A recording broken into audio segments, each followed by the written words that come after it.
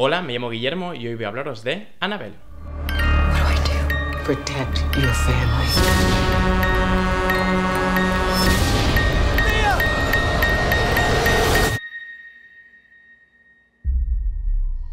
Who are you?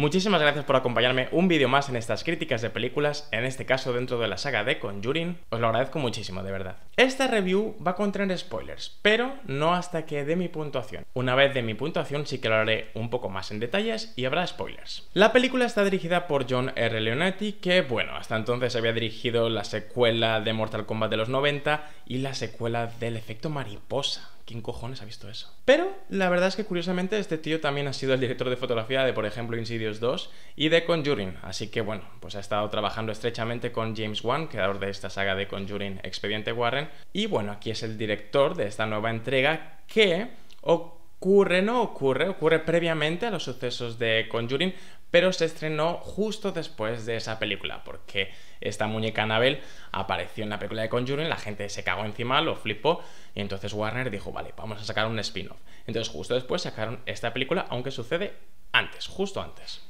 La película está protagonizada por Annabelle Willis, Ward Horton, Alfred Woodard, entre otros. Para los que estéis siguiendo estos vídeos y estéis viendo estas películas en orden cronológico, lo anterior a los sucesos de esta película era lo que vimos en Annabelle Creation, que bueno, vimos lo que ocurría con, con la muñeca, cómo había empezado todo, y terminaba en una secuencia que ocurre en esta cinta. De hecho, creo que parte del metraje se grabó para la de Annabelle Creation, pero una pequeñita escena la cogieron de esta película. ¿Y en qué consiste esta película? Pues bueno, seguimos la vida de un matrimonio, bueno, están embarazados, ¿vale? Ella está embarazada y colecciona muñecas. Y entonces el marido le regala una muñeca Annabelle, que no es una muñeca Annabelle, ¿vale? Es un tipo de muñeca pues que al parecer sacaron muchas y que son difíciles de encontrar y bueno, encuentra esta muñeca, pero esa muñeca realmente está atada a cosas eh, oscuras, ¿vale? Que ocurrieron en Annabelle Creation. Y bueno, pues ellos tienen una comunidad religiosa también, se ven con los vecinos, típico, ¿vale? Y los vecinos pues tienen una hija que se llama Annabelle, que bueno, les abandonó hace dos años, se fue con unos hippies y demás. Y no es spoilers, ¿vale? Se ven los trailers, es básicamente lo que ocurre. Una noche, pues eh, esa tía, ¿vale? Annabelle y su culto satánico entra y mata a los vecinos e intentan también acabar con la vida de estos protagonistas de este matrimonio. Entonces, bueno, es un poco de paralelo y hace referencia a los sucesos, porque de hecho los nombran en la película, a los sucesos de la familia Manson, ¿vale? Como muchos sabéis que ocurrió en Estados Unidos en la década de los 60, que bueno, cometieron muchísimos crímenes en, en nombre de Satán, y en particular el de Sharon Tate, la mujer de Roman Polanski que estaba embarazada cuando la asesinaron. Entonces, bueno, esta película creo que hace ligeras referencias a ese tema.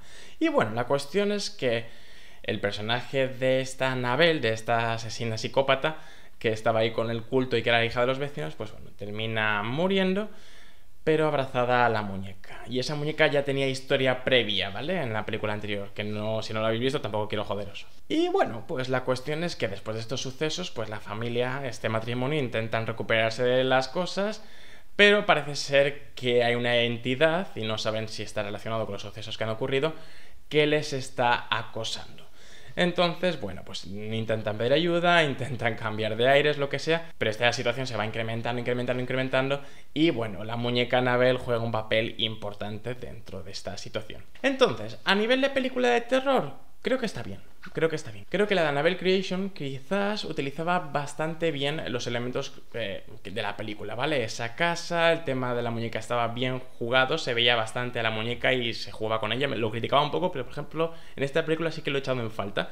Creo que hasta el último tercio de la película la muñeca no tiene tanta presencia como yo esperaba. Sí que se ven otro tipo de entidades y otro tipo de efectos de terror que están bien, pero la muñeca en sí como elemento de terror no se juega con ello hasta el tercer acto aunque parece previamente, ¿vale? La película todo esto empieza con una primera escena que es una de las escenas de la película de Conjuring. Entonces, bueno, se puede ver, sinceramente, sin haber visto Conjuring no te afecta. Como curiosidad, la actriz protagonista también se llama Annabelle, entonces, bueno, me resultó curioso. Y la verdad es que no lo hace mal, porque en este tipo de películas ya un poco incluso spin-offs puede que la calidad decaiga. Y la verdad es que creo que la tía lo hace bien, creo que es la más destacable de todo el cast, eh, lo que es algo muy bueno porque es la protagonista. Y creo que mantiene bien en tensión, creo que genera muy bien los sentimientos de sospecha o de dudas o cuando cree que hay algo que está fuera de la realidad y no sabe si le van a creer o no creo que lo transmite bien. Se juega bastante, ¿vale? A nivel de terror, con luces y sombras. Obviamente tenemos los típicos efectos de sonido. Pero bueno, hubo algunas escenas que sí que me metieron un mal rollete y bueno, escenarios que crean dentro de, de los pocos espacios en los que ocurren los sucesos de esta película, que creo que están bien llevados y que sí que generan ideas que si tú estuvieras en esa situación te daría un poco de mal rollo. Así que sí, la verdad es que la película me ha entretenido, creo que más o menos al mismo nivel que la de Annabelle Creation, la he disfrutado, la verdad no puedo decir que no. La primera vez que la vi creo que me aburrí un poco más.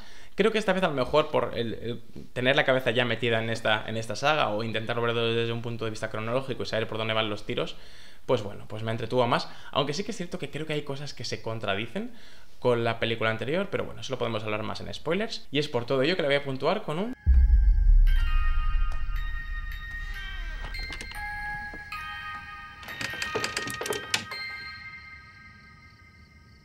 Ahora voy a entrar un poco más en detalles, así que si no habéis visto la película, parad este vídeo, ved la peli y después podéis volver a este vídeo cuando queráis. En Estados Unidos nadie cierra las putas puertas con pestillo nunca, ¿no? En plan, o con cerradura con llave. Y después las mujeres que le dicen en plan como, no, tienes que dejar de cerrar sin llaves. Es como, ¿quién cojones no cierra su puta puerta además así en abierto, que no tienes ni un portal sin llave? Después, lo que decía que hay cosas que no entiendo respecto a la de Annabelle Creation es como, vale, esta película se hizo antes, ¿vale? Que Annabelle Creation, entonces a lo mejor es culpa de los que hicieron Annabelle Creation, pero esta muñeca ¿Cómo cojones ha llegado hasta, hasta el marido que se la regala a la mujer en plan? ¿Y por qué? ¿Por qué exactamente? Porque los vecinos son los padres de Anabel. ¿Y cómo la consiguió el marido todo esto? Y la cuestión es que ¿Qué quiere la Annabelle? ¿Vale? ¿Os acordáis en el final de la película anterior, ¿vale? Habían spoilers de Annabelle Creation. Que, que el demonio este, que no es Annabelle, nunca ha existido una Annabelle, ¿vale? Porque este demonio, bueno, ya, ya sabes lo de Annabelle Creation, coño. Pues bueno, se metió en el cuerpo de Janice, ¿vale? De la niña esta con polio de la película anterior. Y entonces la cuestión es por qué quiere estar cerca de la muñeca, por qué quiere traer cerca a la muñeca de ella, porque bueno, es lo que dicen es que la, la muñeca es un conducto, ¿no? Para que otros espíritus entren en nuestro mundo. No puede ser realmente poseída, solo puede como mantener a los espíritus por ahí o hacer que salgan. Entonces quiere a lo mejor ese demonio que está en el cuerpo de Janice, que se hace llamar Anabel, que es la hija de los vecinos, tenerlo cerca por si acaso. Después, la madre, ¿vale? La mía, esta, está embarazada y la acuchillan cuando intentan asesinarla. Después, más adelante, cuando se incendia la, cocina, está oliendo humo y se cae de bruces y la tiran hacia atrás las fuerzas estas marinas y el bebé al final nace. Ese bebé debía estar hecho mierda. Después, si Anabel quiere ocupar el cuerpo del niño, ¿Por qué está intentando matarle todo el puto rato? ¿Por qué está intentando matar a esta gente constantemente si lo que quiere es ocupar su cuerpo? Hubo una escena que me dio bastante canguele, que es cuando ella ya está un poco sospechosa, creo que en el segundo piso, ¿vale? O en el primero, ya no me acuerdo, da igual. Y de repente va andando y ve a la pequeña Anabel, ¿vale? El demonio con forma de Anabel niña, y que va corriendo hacia ella, y de repente cuando golpea la puerta es Anabel mayor, llena de ensangrentada después de los asesinatos. Me pegó un susto, la verdad. Y lo que decía que había escenas que estaban bastante curiosas a la hora del setup es porque cuando, por ejemplo, ella viaja al garaje, ¿no? O al trastero o algo de eso, e intenta subir y se queda atrapada, siempre que se cierra el ascensor, siempre se abre en el trastero y al final se ve esa figura demoníaca, que es el demonio. Pues joder, ¿sabes? Me dio puto miedo el, pensar que da igual, que no puedes salir, que no tienes escapatoria, que estás atrapado ahí y que van a cogerte. Y justo después en esa secuencia que ella está huyendo, ¿vale? Va corriendo por las escaleras, el demonio la está persiguiendo, hay un momento en el que mira para abajo y se ve al demonio abajo, como así, como cuatro patas, esa escena, ese momento, ¿vale? Me da miedo. Pero justo después, ¡pum! Golpe de sonido y se le ve ahí arriba delante de ella. Me pareció cutre, me pareció un pelín cutre. Y después siempre criticaba que, por ejemplo, cuando el marido entra en la casa, pues todos los sucesos paranormales, ¿vale? Pues dejan de ocurrir y me parecía un poco ridículo y un poco cliché. Pero bueno, explican que los demonios, al parecer, intentan acosar, ¿vale? Y acechar a esta gente que está más débil o que está con miedo, paranoica. Entonces, claro, cuando entra este personaje del marido que no está sufriendo este tipo de acontecimientos y que no tiene ese sentimiento, pues claro, el demonio a lo mejor pues se pierde su poder, ¿vale? Porque el demonio necesita un alma y necesita un cuerpo para sobrevivir y cuando no está fuera de ese cuerpo pues puede tener más o menos fuerza dependiendo de los elementos, eso según entiendo yo, según lo, lo que han explicado, ¿vale? Según los elementos que le rodean. Entonces, claro, si entras en una habitación en la que todo es miedo y todo es superstición, pues vale, está más fuerte, pero sin embargo está el marido, pues está más débil. Entonces entiendo que por eso desaparezcan esas secuencias. Lo justifico y lo veo normal. Y la cuestión es que dicen que, por ejemplo, los fantasmas no, no ocupan cuerpos, ¿vale? Solo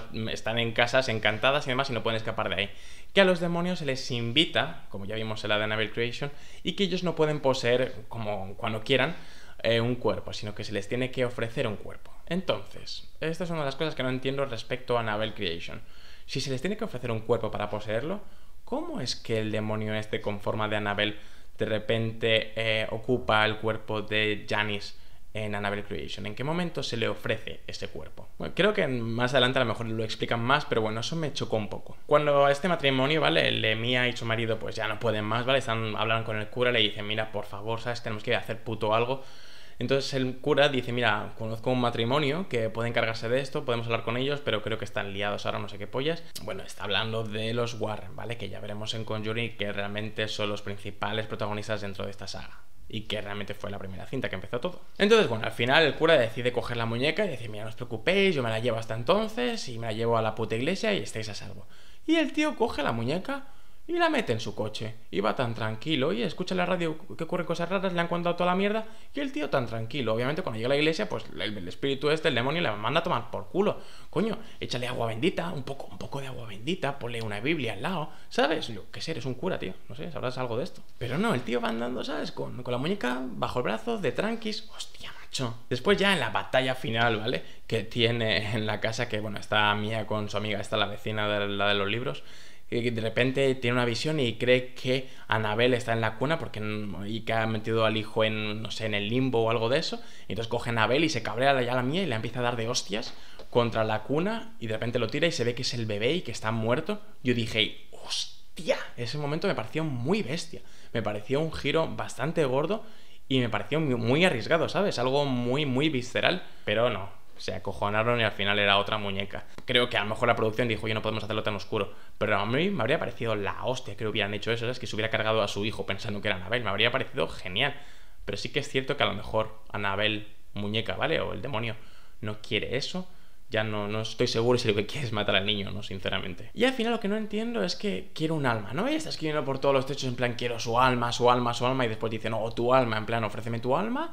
Y ya está. Y no, no hay que y no hay que ocupar el bebé. Entonces, pues tírate y le abres la puta ventana para que se suicide. Entonces, lo que no entiendo es, si quiere ocupar su alma, ¿por qué quiere matarla? Porque si la mata, si ocupa su alma y después muere, pues no tienes un cuerpo en el que quedarte, ¿no? Es un poco ridículo de nuevo. Entonces no sé para qué quiere matarla, no sé para qué se suicida. Al final, bueno, pues consigue salvarle al marido en el último segundo y la vecina que tenía una cosa con su hija muerta y quiere reencontrarse con ella, no sé qué pollas, y ve que esto es un matrimonio con una hija que puede vivir una larga vida, pues dice, no, este era mi momento, este es lo que me dijo Dios o quien sea que tenía que hacer y coge la muñeca Anabel y se tira para ofrecer su alma al demonio. Pero la cuestión, repito, cae, muere, la palma ahí, se revienta y bueno, parte de su sangre entra de nuevo en la muñeca esta de Anabel.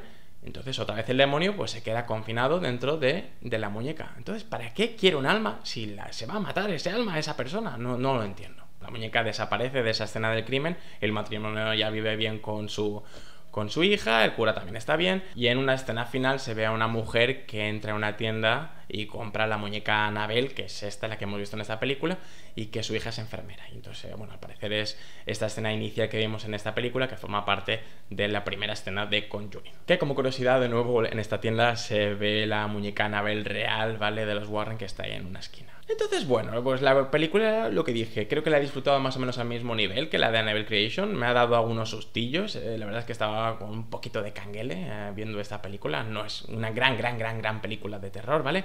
Pero creo que está bien, bien para lo que estamos buscando. Muchísimas gracias a todos por acompañarme en esta crítica de película. El próximo vídeo de esta saga estará centrado en, por fin, The Conjuring, Expediente Warren, la primera película que empezó toda esta saga. Muchísimas gracias a todos, espero que os estén gustando estas críticas, espero que os estén gustando las películas también. Si no es así, o si es así, o lo que sea, no dudéis en dejar en comentarios, darle a like si os ha gustado el vídeo, suscribiros para próximas novedades, aparte de la saga de Expediente Warren y The Conjuring, y nos vemos en el próximo vídeo.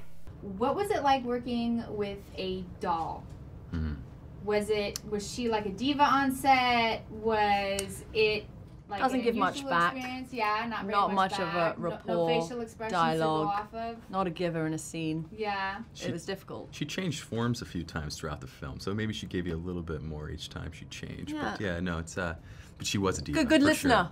Good listener. Good listener. You always need a good listener. Fantastic. Her Botox must have been like. There was a lot of chatting coming from keep me. straight face, yeah. Many a secret I told her.